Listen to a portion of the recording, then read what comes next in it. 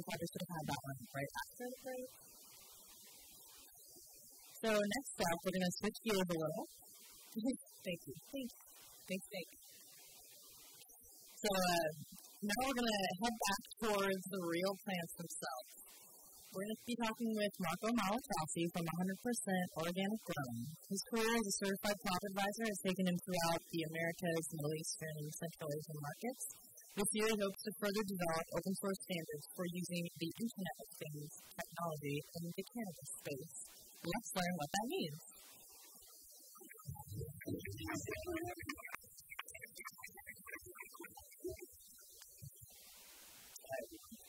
Uh, for the warm introduction. It's exciting to be here speaking with enthusiasts, innovators, and entrepreneurs. Talk about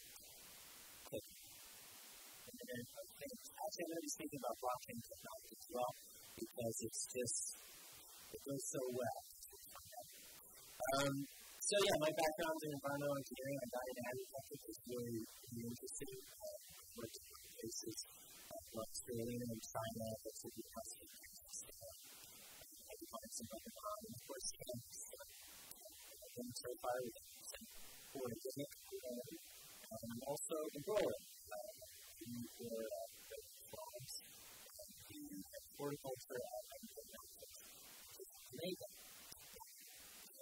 So I occupy an interest in space as a researcher, a consultant, and a grower. And a lot of times, uh, in operations, I find people like, yeah, consultation, you ever been boots on the ground? Well, uh, yeah, we've gotten a lot of interesting things to talk about, so I'm just going. So we'll start off with the Internet of Things. Um, really, these are sensors and controllers. These, your phones are Internet of Things. These are any device that transmits or receives data and shares it over the network. So, again, Fitbits on your wrist, measuring biometrics, uh, smart fridge, reading when you're at the placement order. Uh, your Alexa assistant ordering some new clothes, the clothes themselves, which might have RFID chips, sorts sensors, things like that. Um, thermostats, smart light bulbs, these are kind of the toys, but also we've got sensors and both on the uh, You've got robots. We've got uh, self-driving car, you order the We've got remote surgery and an arm taking the gun on things So again, they're just ubiquitous. They're everywhere. They're in all states and in all strata. Toys, tech, tech, tech stuff. Um, the first Internet of Things were actually the ATMs. You know, 74 ATMs that came out in the 80s, I believe it was. And those are the first devices to be communicated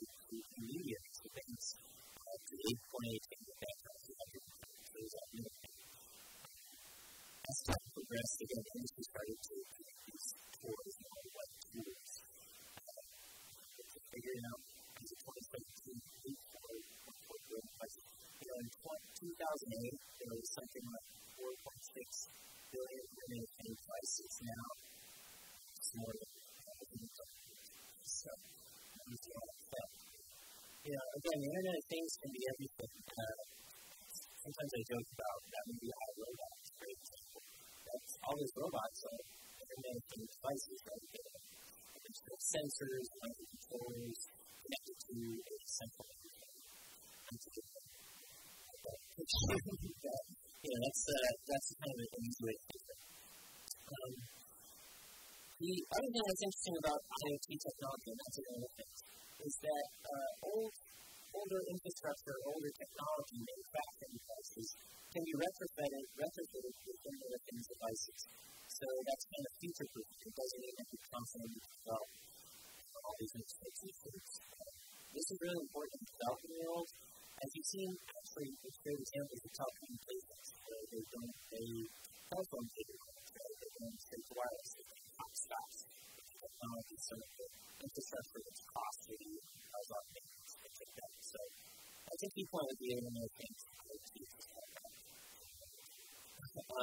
that it can be implemented in all, sorts of ways. Um, it's extremely important I think, for any business or entrepreneur or any industry to develop its own IoT device technology. Uh, you know, just a few years ago, Google bought Nest, and Nest is in the first section. They bought Nest for $3.2 billion. Maersk, which is like the largest shipping logistics company in the world, is heavily implementing internet technology, and it's saying in the next few years they're going to be able to save one trillion dollars GDP. So again, it's, it's, it's part of the future, right? So we need to figure out how can utilize this. Well, in any industry, really, and especially blockchain, but also cannabis. You know, again, just kind of going over what Internet of Things is, blockchain. I'm quickly try to run through how that uh, fits in. But really, in a room full of people like yourselves, it's one of the questions.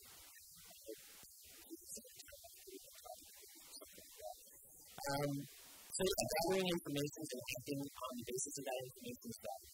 It makes it easier, safer, more efficient, both in per- personal life and business. Um, this is still the early stages of development.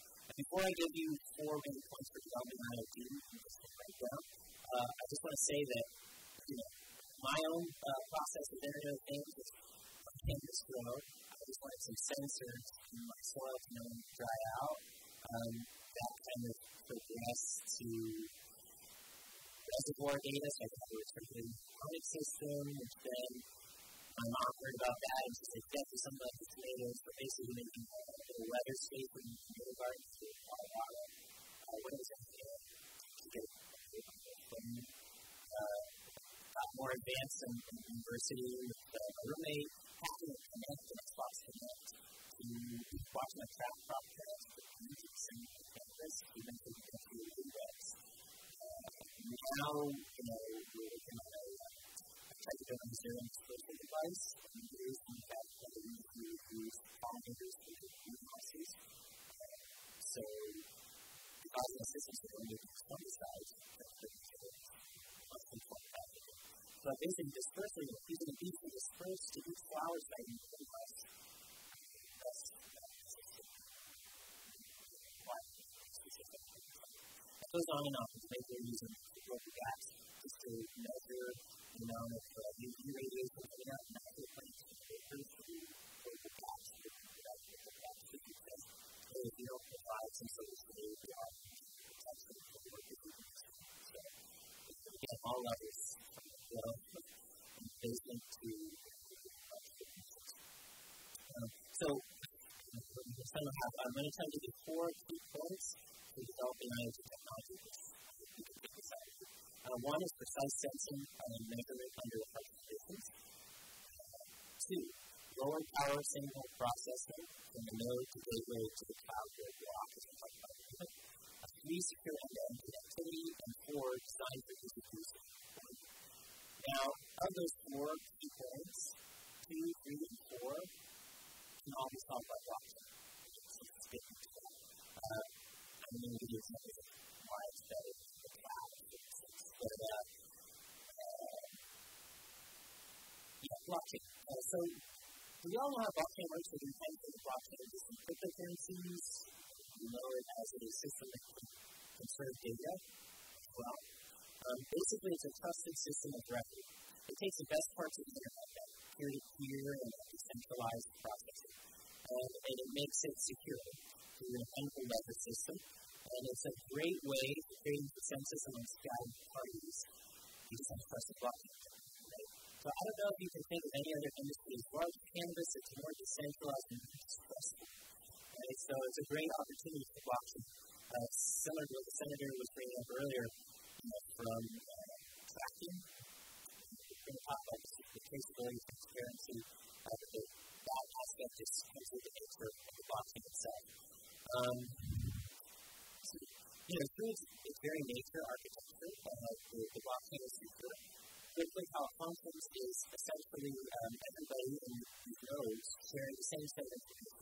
any new data or information uh, covered offered to the blockchain, the node communicates with all the other nodes and says, everything else is good, this is why we get an open closed system to blockchain. But And essentially, that's it. It's a being kind of update. Can't go back to the past. So, again, that's into very secure. So, it's robust secure.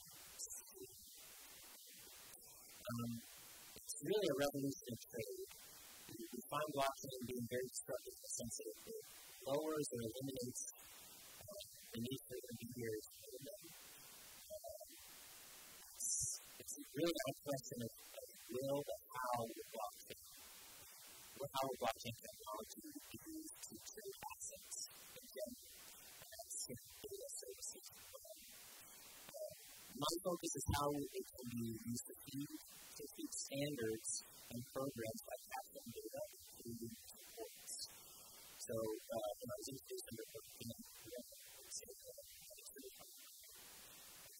I guess really we're just kind of going into the traceability, transparency, technical data, intermittent.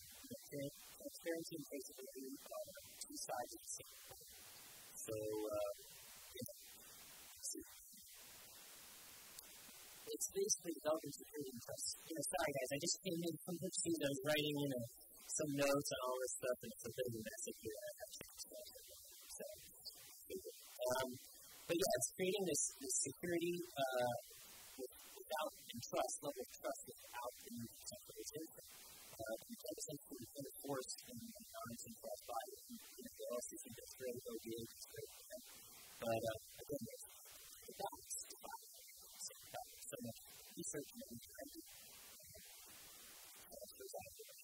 So, um, you know, in terms of this traceability thing, a lot of big companies are doing which is uh, the first hypermarket, uh, hypermarkets like Fred Meyer, where they sell food and the first one, Carrefour, and uh, that was in Europe. And, uh, you know, it was the largest hypermarket. They just recently introduced blockchain is to trace the culture. This would allow users, uh, in interface, to basically scan the package chicken and show where that came from, uh, what, what chickens were used, what was processed. Uh, so, some, especially your point, the seeing where that came from, being able uh, to see that point. The key in part of another uh, software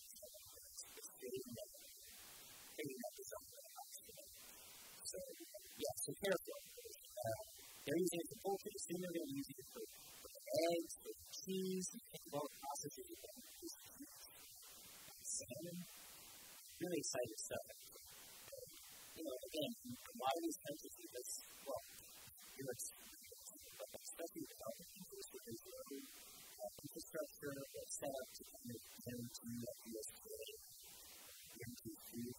safety standards. Blockchain becomes very important because the technology for mastery to be able to realize the zero impact. There's different types of blockchain systems, open and closed. Uh, essentially, that allows for control over the blockchain. I know the next design will make.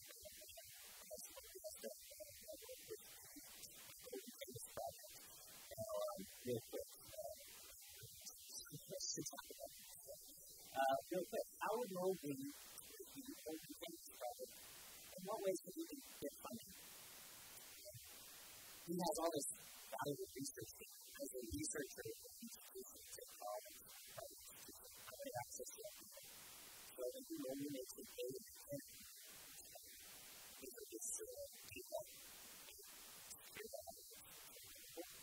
and um, we use that point to take that and either that institution or another institution or uh, some service that uh, are really easy to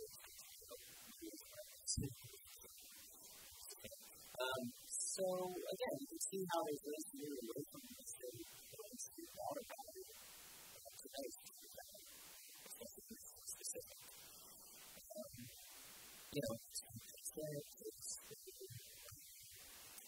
know, any meaning that's the economist framework, commodity, it's already commodity.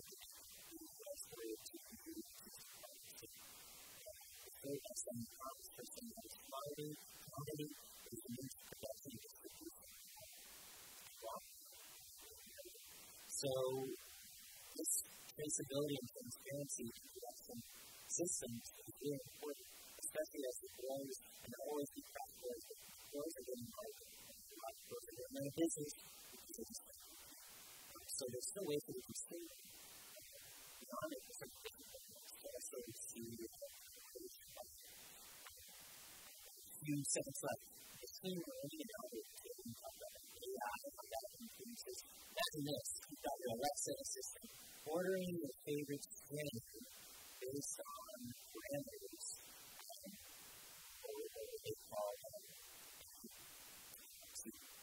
smart structure because it knows that you only select organic stuff and have a tendency to buy a these because and, but it's not buying from the same farmer as the same thing and saying, oh, another brand new say something actually grow growth. Something like that. So and then the drone comes into everything. Right? So that's where the the future is I guess is going. When you but anyways, this is where the. Um, yeah, that is a great you got the most exciting part of is having a data that you can get from all sorts of ways. You know, the drones working like how you can do sensor other drones, but how you be able to deploy all those sensors all over and like to see parameters here being pops up. But you know, uh, what if I took metadata and layered that